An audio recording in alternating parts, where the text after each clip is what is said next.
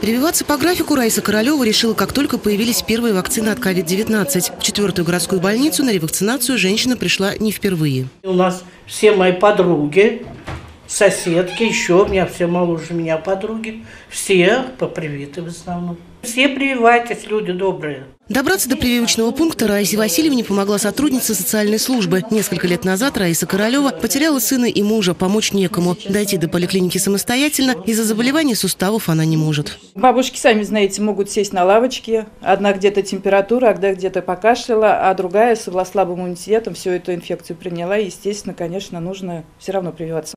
Иммунопрофилактика опасной инфекции особенно важна для пациентов из групп риска, к которым относятся люди старше 60 лет, а также те, кто страдают заболеваниями дыхательных путей, сердечно-сосудистой и эндокринной систем и другими хроническими болезнями. В четвертой городской поликлинике привиться можно с 8 утра до 8 вечера, включая выходные дни. Пациенты, которые маломобильные, нетранспортабельные, у нас созданы мобильные бригады, и мы на дому вакцинируем данных пациентов.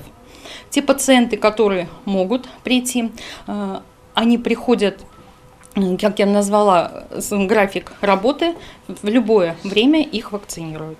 Для повторной вакцинации от новой коронавирусной инфекции можно использовать любую из отечественных вакцин. Ревакцинацию можно пройти и первым компонентом вакцины «Спутник Ви», который абсолютно идентичен вакцине «Спутник Лайт». Записаться на прививку можно дистанционно на портале госуслуг, по телефонам поликлиник или по номеру горячей линии 122. Ольга Павлова, События.